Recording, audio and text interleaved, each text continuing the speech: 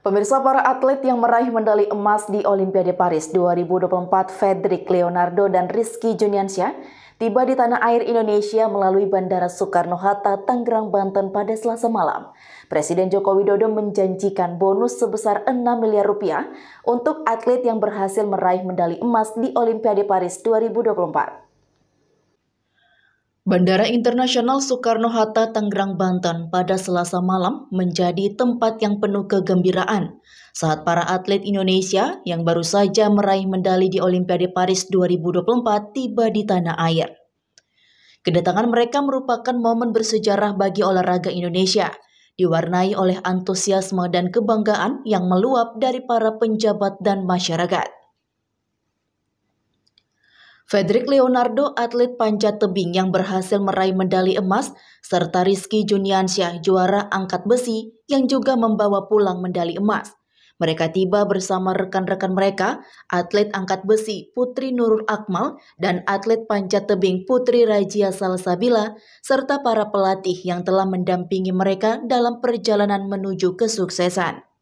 Kehadiran mereka di Terminal VVIP Bandara Soekarno-Hatta pada pukul 22.55 waktu Indonesia Barat disambut dengan hangat oleh Menteri BUMN Erick Thohir, Menteri Pemuda dan Olahraga Dito Aryo Tejo, serta Ketua Umum Federasi Panjat Tebing Indonesia Yeni Wahid dan Ketua Umum Pengurus Besar Persatuan Angkat Besi Seluruh Indonesia Rosan Perkasa Roslani.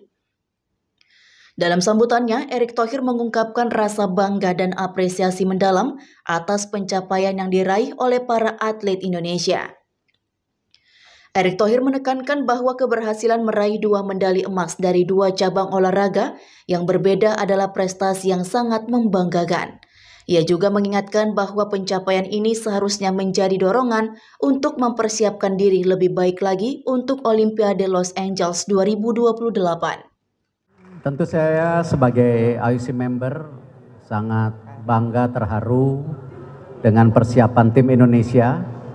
Pak Menpora, Mbak Yeni sebagai ketua cabur, Pak Rosan sebagai ketua cabur, yang hari ini wakil Pak Joko, Pak Anin sebagai chief dimission, dan tentu para pelatih dan para atlet yang mempersiapkannya luar biasa. Dan saya terus meyakini prestasi hari ini bisa lebih baik lagi ke depan. Sementara itu, Presiden Joko Widodo juga memberikan kabar gembira dengan mengumumkan bonus sebesar 6 miliar rupiah untuk atlet peraih medali emas. Ini merupakan peningkatan dari bonus yang diberikan pada Olimpiade Tokyo 2020 yang sebesar 5,5 miliar rupiah. Jokowi juga menyebutkan bahwa bonus akan diberikan kepada peraih medali perunggu meski jumlahnya belum ditentukan. Jelas uh, akan diberikan bonus baik yang telah meraih medali emas maupun medali uh, perunggu. Ya, semuanya akan diberikan. sudah ada Pak? Uh, emasnya kalau dulu kan berapa lima setengah ya. Ya ini enam. Ayo dukung kami dengan cara like, share, komen, dan subscribe di seluruh akun BITV agar Anda tidak tertinggal berita menarik dan terupdate lainnya. Saya Kiki Anggriani pamit undur diri dari hadapan Anda. Terima kasih dan sampai jumpa.